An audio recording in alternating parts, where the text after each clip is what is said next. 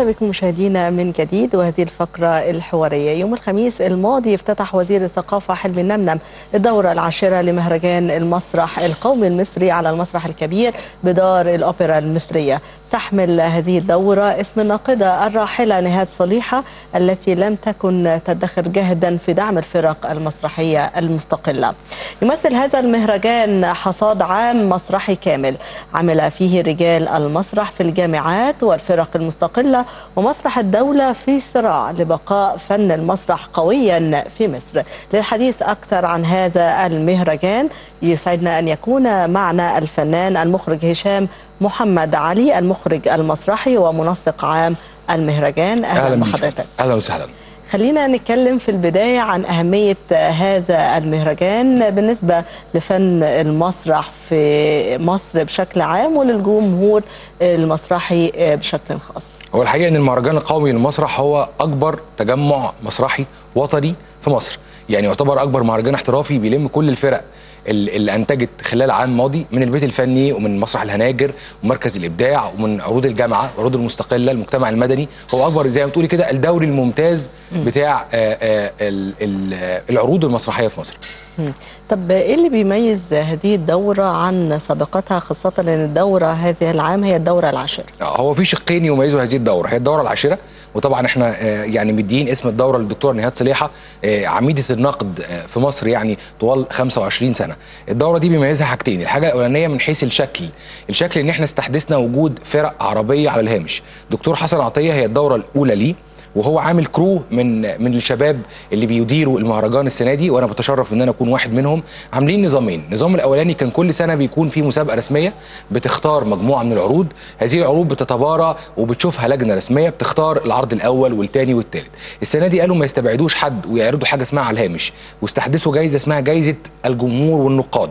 عملوا عروض اللي هي كانت بتخرج على الهامش دخلوها جوه المسابقة الرسمية وادوها للجمهور والجمهور هو اللي يحكم مين العرض الأول والثاني والثالث وهو اللي يختار الممثلين الأول والثاني والثالث وجوائز المهرجان من حيث المسابقة المختارة اللي هي اختيار الجمهور. الشق الثاني إن يكون في لأول مرة في الدورة العاشرة إن يكون في فرق عربية. في حاجة اسمها السنة دي نظرة على مسرح الشارع. مسرح الشارع إحدى نظم المسارح في العالم.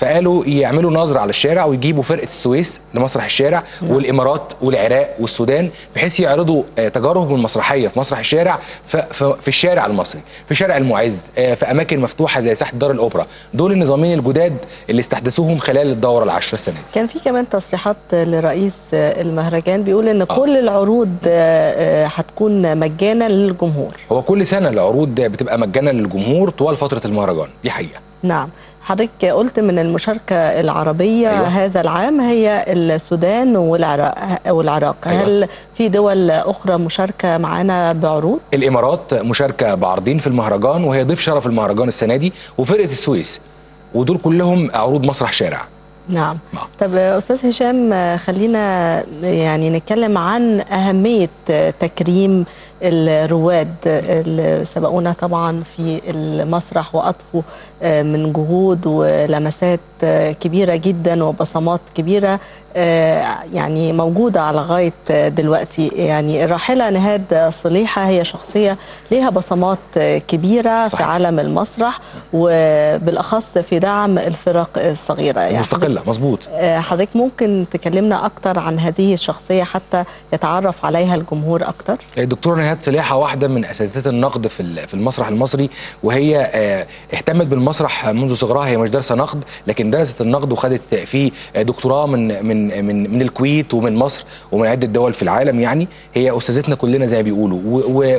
ودكتورة نهاد رحمة الله عليها ما ينفعش الواحد ينظر لها ويقول كانت وعملت. هي الجامع يعني إحنا مسمينها هي الجامع اللي جمع كل المسرحيين تحتيها. هي ما ميزتش ابدا ما بين عروض احترافية أو مخرج محترف ومخرج هاوي. كانت بتروح لكل الناس في كل الأماكن. يعني أنا أتذكر إن أنا أقول لها دكتورة أنا عندي عرض النهارده وما ينفعش حضرتك ما تشوفيهوش. فتقول لي فين يا ابني؟ أقول لها مثلا في التجمع الخامس أو في الجامعة الأمريكية. آه، ألاقيها أول الموجودين. ما كانتش بتسيب تجربة. زائد إنها كانت بتقف على مستوى المعلومة مع الناس. يعني كانت قبل العرض وبعد العرض تيجي تدينا نصايح. عشان كده الدورة دي مش بس هتديها حقها. إحنا المفروض نستحدث جايزة من جوائز المهرجان في المسرح المصري آه، للدكتوره نهاد صليحة. والسنة دي الدكتور حسن عطية عامل جائزه النقاد. يعني لأول مرة السنة دي برضه بيعمل جائزه المقال النقدي تقديرا واحتراما للدكتورة نهاد صليحه العالم العربي كله يعرفوا دكتورة نهاد.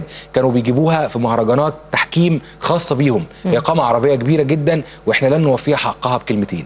طب حضرتك شايف إزاي إن إحنا نقدر نكرم هؤلاء الرواد من خلال التكريم من خلال مهرجانات أو وسائل أخرى لدعم الفن المسرحي أو الفن بصفة عامة وتعريف الأجيال الجديدة بهؤلاء الرواد؟ والله يا فندم ده سؤال مهم جدا. أنا احييكي وأحيي رئيس التحرير عليه والمعد لأن هو فعلا تكريم الناس دي لازم يكون على قدرهم.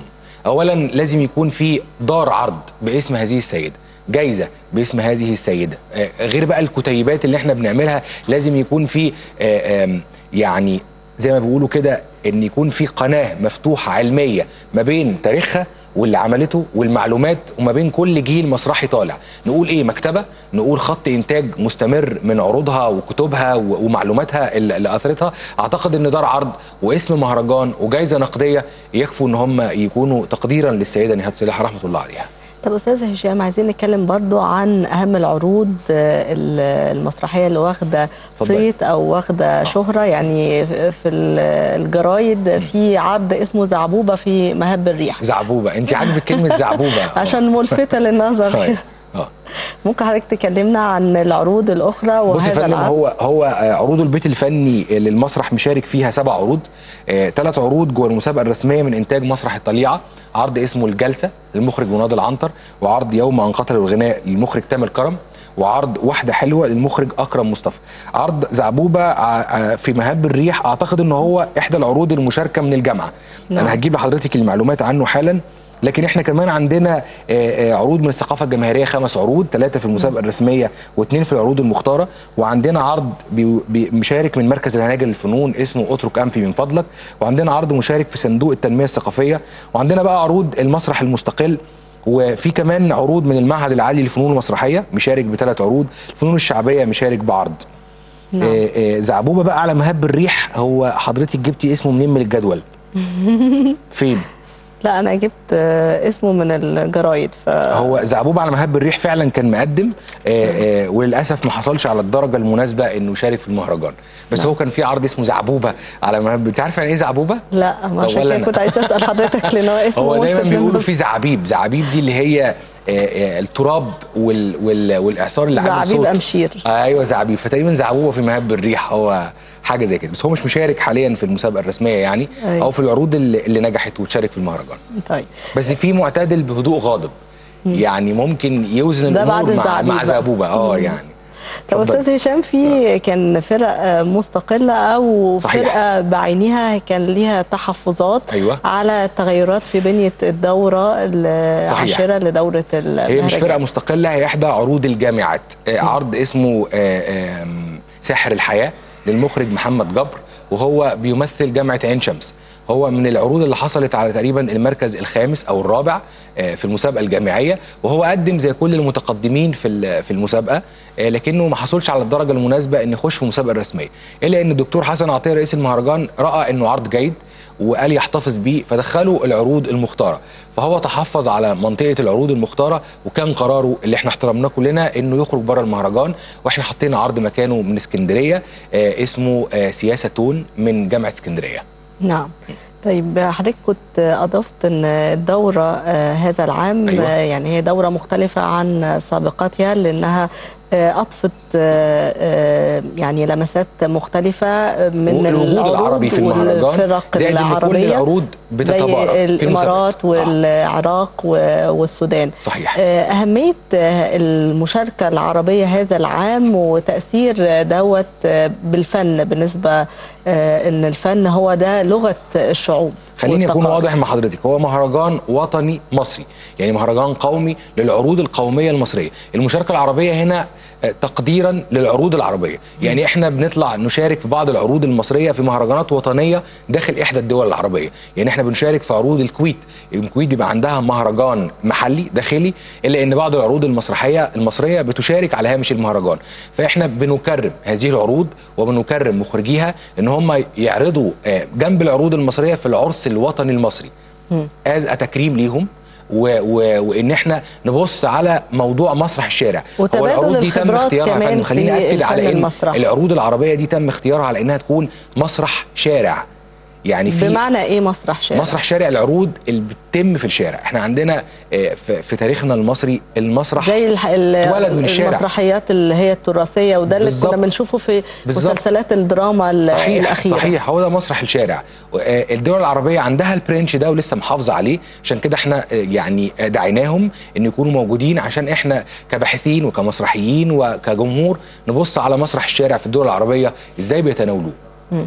طب عايزين نتكلم برضو عن المكرمين هذا العام من رواد المسرح. وإزاي تم المكرمين اختيارهم؟ نعم يا فندم. وإزاي تم اختيارهم؟ لا هو إزاي تم اختيارهم؟ هو طبعا اللجنة العليا للمهرجان بتشكل من قامات مسرحية وثقافية ومسرحية كبيرة جدا وهم اللي بيختاروا مين المكرمين هذا العام.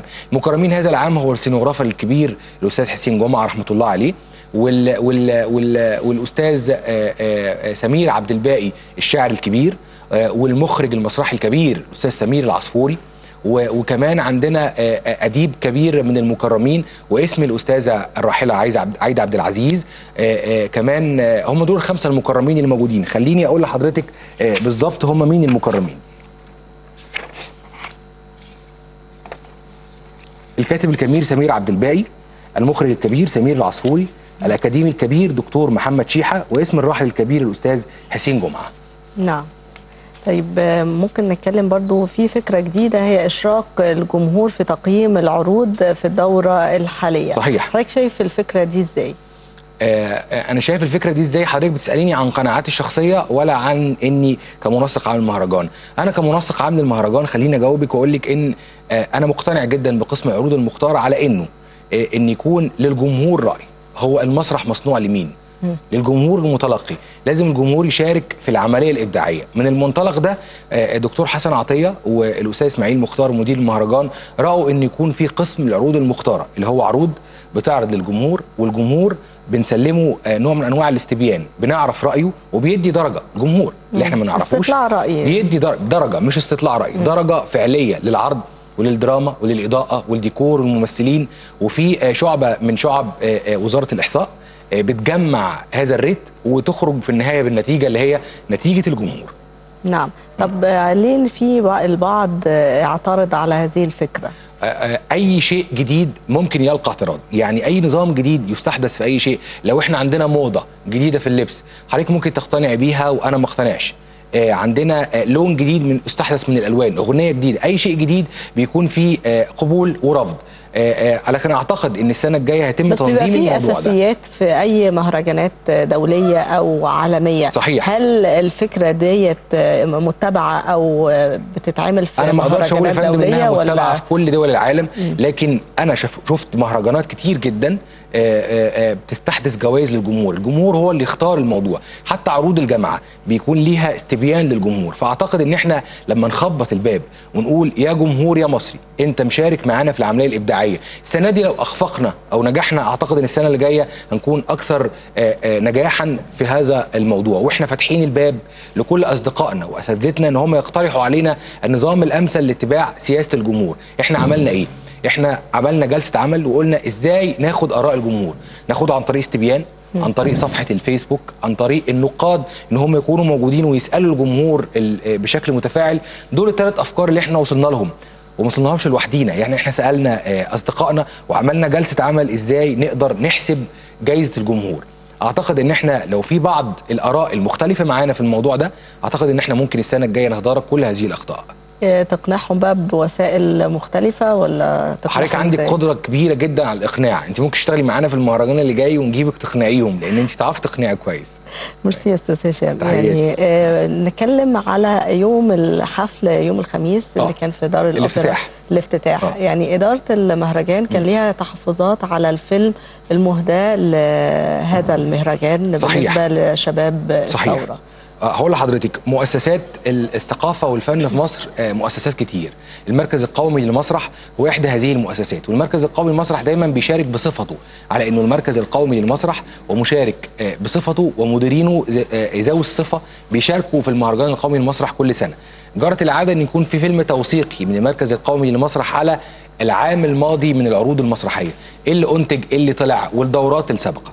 فالمركز القومي بيهدي هذا العمل أو هذا الفيلم للمهرجان كل سنة السنة دي حقيقة إحنا ما يعني لم يسعنا الوقت إن إحنا نبص على الفيلم التوثيقي وحصل فيه خطأ وتم صدور بيان من المهرجان القومي للمسرح على إن هو يرفض هذه الجملة اللي اثارت جموع الفنانين المثقفين وإحنا نعم. كلنا رافضين هذه الجملة حتى المركز القومي نفسه رافض هذه الجملة وهي جاءت عفوا يعني ما جاتش مقصودة دون طبعا قصد. آه طبعا نعم. بكل تأكيد ما حدش يقدر يعني يعني آه، يعني يمارس آه، آه، آه، أي نوع من أنواع الإنكار لثورة 25 يناير. إحنا كلنا عايشين على وشباب نجاحاتها. صحيح طبعاً صحيح. اللي هم جزء من التركيبة المسرحيه طبعا طبعا. والفنانين كانوا من أوائل الطليعة يعني اللي موجودين في في في, في الثورة. الحمد لله.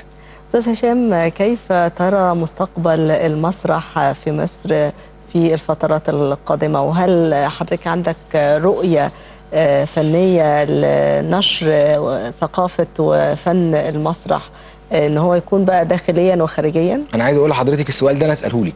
يعني أنا ممارس للعمليه المسرحية في مصر. أنا اللي أسألك انت حضرتك شايفة إن ال ال ال النشاط المسرحي المصري آه، بيلقى رواج آه، يعني السنة دي؟ أعتقد قبل ما حضرتك تجاوبي إن إحنا على مدار السنتين ثلاثة اللي فاتوا بدأنا نسمع كامل العدد على العروض المسرحية. عندنا في مسرح السلام قواعد العشق الأربعين للمخرج عادل حسان تجاوزت السبعين ليلة وهي من العروض اللي تم تكلفتها ب ألف دخلت ما يقرب من 800 ألف جنيه. عندنا عروض للأستاذ الكبير يحيى الفخراني على المسرح القومي. السنة اللي فاتت والسنة دي تجاوزت ال 3 مليون جنيه وتجاوزت ال 100 ليلة عرض. كان عندنا عرض اسمه روح على مسرح الطليعة. لأول مرة يكون في عروض على البيت الفني بتعرض 100 ليلة.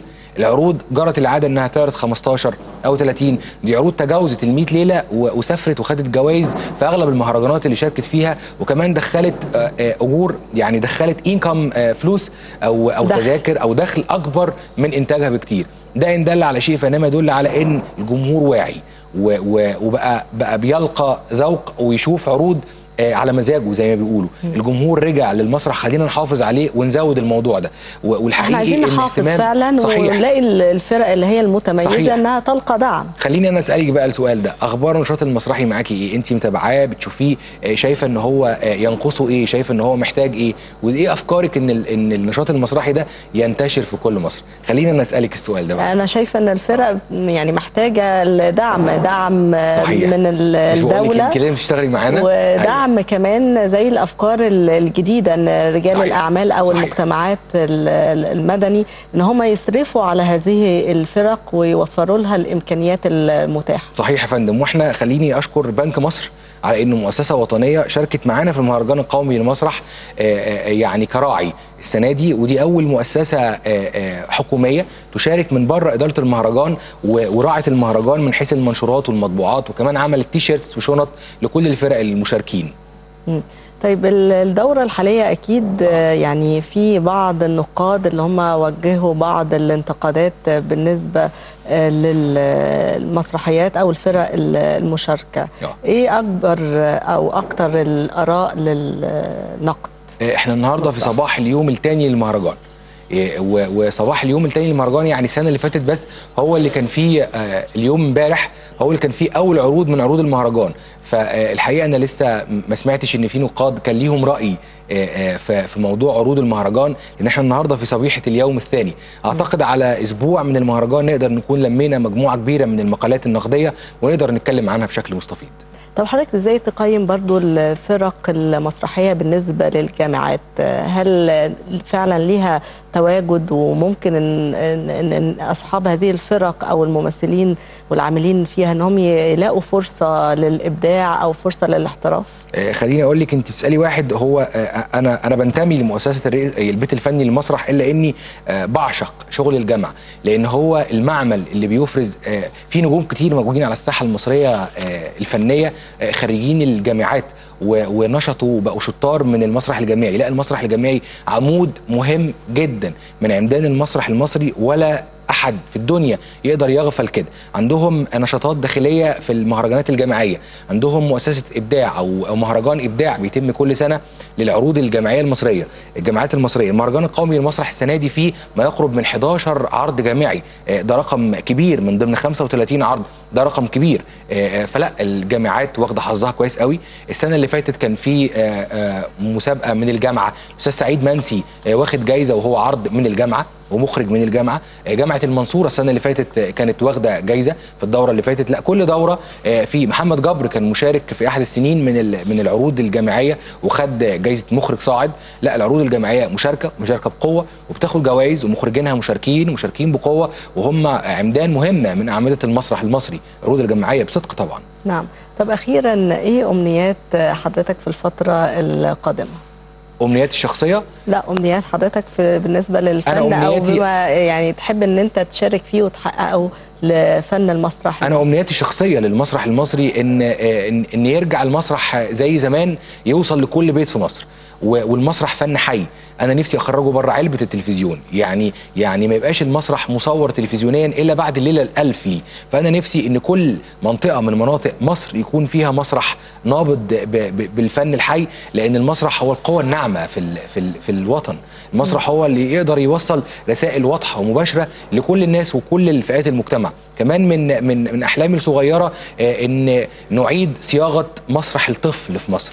مسرح الطفل ده هو النواه الحقيقية اللي بيفرز أجيال بكرة تفكر إزاي وتبدع إزاي وتتخيل إزاي. أنا من أحلامي ان إن أبقى مسؤول عن إحدى فرق مسرح الطفل في مصر في يوم من الأيام وإن شاء الله بإذن الله ده يحصل.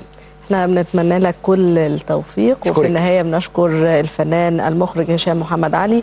المخرج المسرحي ومنسق عام مهرجان المسرح القومي اسمحي لي أنا أخيرا. احييكي وأحيي التلفزيون المصري وأشكر كل القائمين على على المهرجان القومي للمسرح من رئيس المهرجان دكتور حسن عطية والأستاذ إسماعيل مختار مدير المهرجان إلى أصغر عامل بيشيل ديكور وبيحطه على خشبة المسرح. شكرا ليكم أنتوا في مهمة صعبة وإن شاء الله بإذن الله ننجح جميعا فيها إن شاء الله. إحنا في النهاية بنشكرك ونتمنى جزيلا. كل التوفيق والنجاح لحضرتك شكرا مشاهدينا الكرام فكرتنا في هذا الصباح مستمرة معكم فكونوا معنا بعد الفاصل.